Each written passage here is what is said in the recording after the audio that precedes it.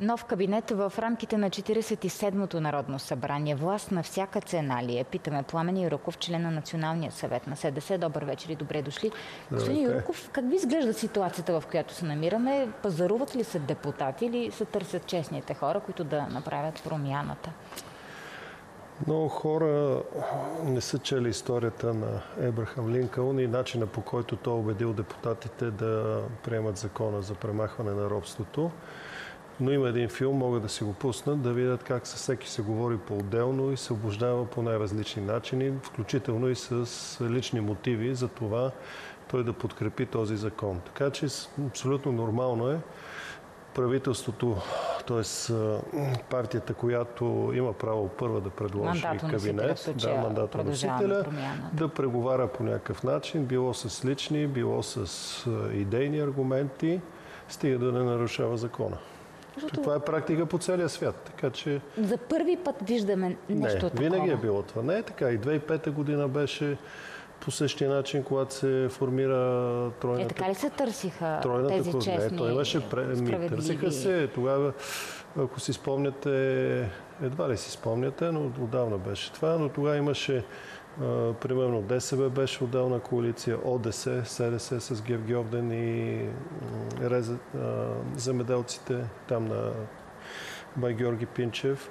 Отделно имаше ВМРО, Стефан Софиянски, бяха в отделна и тогава имаше варианти, най-различни комбинации за властта. Дори 2007 година, когато мен ме избраха за председател на СДС, всъщност голямата идея тогава беше ако може да се привлече и НДСВ да излезе от тройната коалиция, защото всички останали заедно правехме повече. А и, Добре, казвате, и атака това беше. е практика, която сме практика, виждали естествено, в практика, годините. И, и има нещо, да, най-интересното за целият този момент, за, то не е момент, то вече се случва от една година, е, че а, явно е, че тази избирателна система и настроенията на обществото водят към една фрагментация Тоест, ние отиваме в една ситуация като в Дания, където има 8 партии, които винаги са представени в Борген, там в техния парламент. Това означава, че се изисква друго поведение на партиите, друга политическа култура и на много по-гъвкави коалиции, които, за да издържат по-дълго време, изискват така сериозни принципни основания на това, с което и не се го виждаме и това, лично... за което говорите ами, ви. Тоест, политиците в момента и политическите партии, които са в парламента, не са адекватни на ситуацията. Тоест, те трябва по някакъв начин да, да преодолеят някои бариери, които имат в главите си, за да може наистина да имаме стабилно и гъвкаво управление. Стабилно те и сега от продължаване промяната казват правителство за 6-9 месеца, което означава, че ще има хоризонт. Ако издържи и толкова, защото... И ако се съберат тези хора, които се търсят, Еми, още пет те, души липсват. Ама ние видяхме, те се събраха един път, след това едни излезнаха. Гаранция, че някой друг по някаква друга причина няма да излезе. Нямаме никаква. За това може би е правилно да се дават близки хоризонти, да се изпълняват нещата и след това да се подлагат отново. И те първа да се пише нова управленска програма, той стара май нямаше сега, като се Ми... върна лентата назад. Че нямаше, няма. Нямаше, но от една страна това Министерството, аз го наричам хакера, този министър младия, той е започнал неща, които би трябвало да може да ги довърши. Нали? Премахване на стикери по коли, на излишни документи, които се искат и така. Той е за електронизацията на управлението. За господин Божанов говорите. Да. Така че това са неща, които е хубаво, хубаво да бъдат приключени. Посоката, която, се зе, която е заета, но тя видяхме, че се подкрепи от останалите партии. Посоката за засилване на трансатлантическото сътрудничество, т.е. България да бъде активен участник в нея. Аз така се радвам, че от 110 години България май за първи път е на правилната страна, колкото и една политическа сила с нейните разслоения да се опитва все още да пречи на това нещо. Тук имам преди Ема, БСП и всички, които ви разбрах, но, но те в момента се търсят и искат отново да правят коалиция. Значи те коалиция ще си направят, за да, защото са необходими, но важното е да не им се позволят да направят нещата, които да поддържат първо България да не бъде толкова активен член на НАТО, какъвто трябва да бъде, но това и вече след тази стратегия новата на НАТО, която се прие вчера, не мисля, това вече съвсем става невъзможно. България ясно трябва да се отърве от този модел на посткомунизма, който дойде от Руската федерация. Това означава малка група семейства, които да контролират над 90% от благосъстоянието на нацията. То това е олигархичният модел. Те се опитаха да ни го натресат и на нас с тези олигарси, които ги създадоха.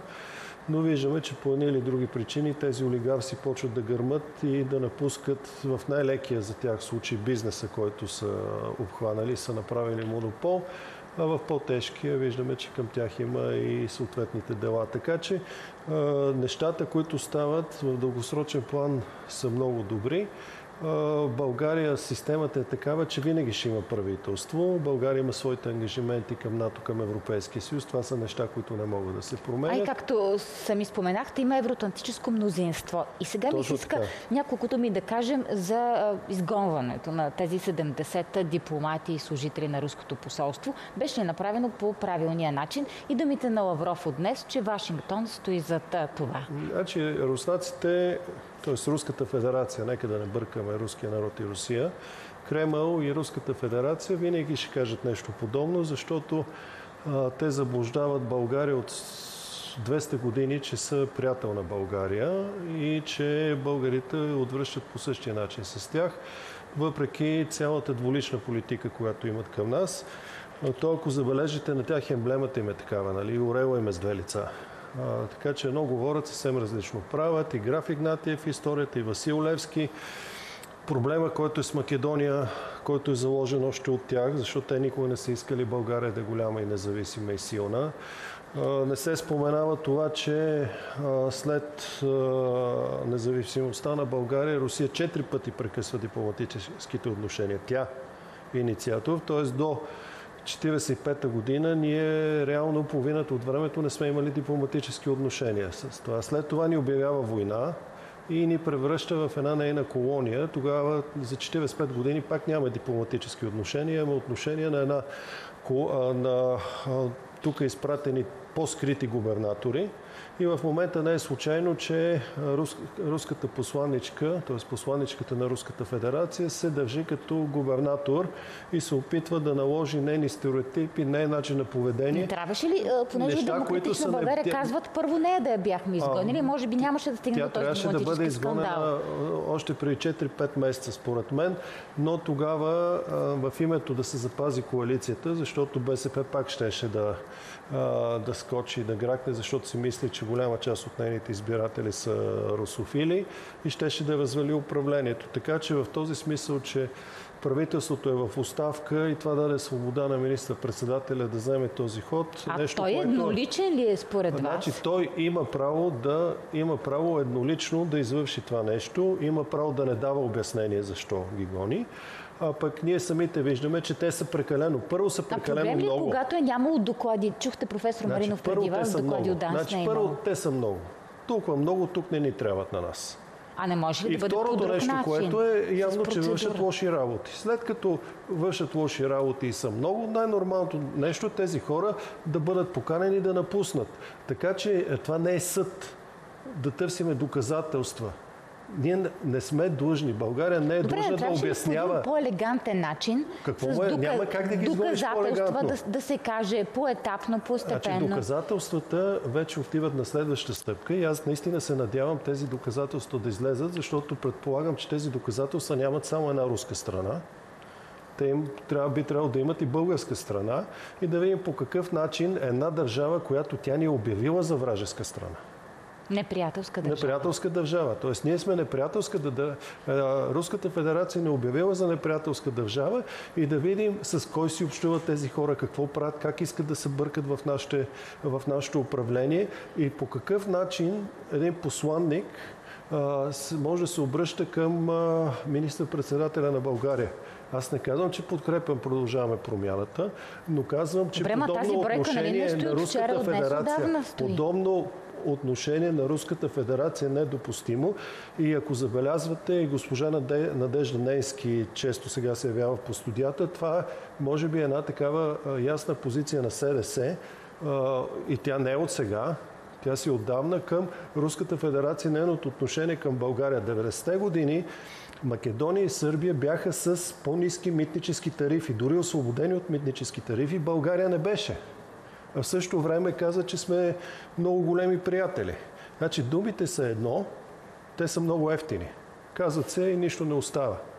Но делата, които правят... Напоследък чуваме много такива ефтини думи. Еми, докато а, делата, които се извършват от Руската федерация, те остават. А, така че за мен а, това нещо, което се случи с е нещо добро, е показателно. Отделно ние не сме някакви шампиони. Чехия изгони миналата година 63-ма. 1971 година Великобритания гони 93-ма. Едновременно 93-ма. Те са, нали, ние казваме дипломати, но то обслужваш персонал плюс дипломатите, което са в крайна сметка един, един шпионин може да се води и готвачи, градинари и така нататък. Трябва ли да вярваме на службите? Защото чухме тези дни тази реплика и тук в петък в студиото Ивал Мирчев каза, аз не вярвам на службите, те също са продънени. Има много руски шпиони там. Сега това... А, аз затова не искам да навлизам в тази тема, защото първо нямам информация и то е нормално да нямам. Аз, вие и другите хора, предполагам, че и господин Дичев, той работи с публична информация, така че не знам на какво се основава неговото доверие или, доверие или недоверие. Фактът е тук, че когато една неприятелска държава има прекален голям, прекалено голям брой дипломати, даже само това основание този брой да бъде съкратен. И на... След като сме неприятелска държава, да си остават пет човека да издават визи на руснаците или българи, които искат да ходят в Русия. Отделно има почните консули, също могат да издават визи, имат как да се организират тези неща. Да, нали консулските служби, тя ги закриват? А, те, те закриват а, две, но тази, която си е тук, си стои, който има нужда от виза, ще дойде тук. Но те имат почни консули. Почният консул също може да издава визи. Това са български граждани, които са почни консули. Те също могат да ги упълномощат и да им издават визи. Отделно... И временното е прекратено издаването на туристически визи. И това, това вече е проблем на посол. Те имат достатъчно, имат 50 човека си им останали, могат да издават е, достатъчно визи на ден. Те Аз не знам какво е търсенето в момента, нали? но така че нищо не им пречи. Това е, може би, някаква такава игра да покажат колко много са наранени. Нормално е те да кажат, че някой друг ни е накарал и нас. финално отговор Тоест, това е част от подигравката. Вие сте толкова тъпи, че сами не може да решите нещо. Това пак е обида някой друг ви го. Значи, както ние ви командвахме 70 години, сега някой друг ви командва вас. Означава ли на финала на нашия разговор, моля ви бъдете кратки, късане на дипломатическите отношения, ако закрием посолството и тук и в Русия? Доколкото знам, закриването на посолствата не е късане на дипломатическите отношения. Затова трябва да има и друго действие липсата на посолства ще затрудни руснаците, които живеят в България и тези, които искат тук да си вземат визи или някакви други документи, свързани с Руската федерация. Благодаря ви за този разговор и до нови срещи. Пламен Юраков пред Денят Онер. Сега следват рекламите. Ви останете с нас.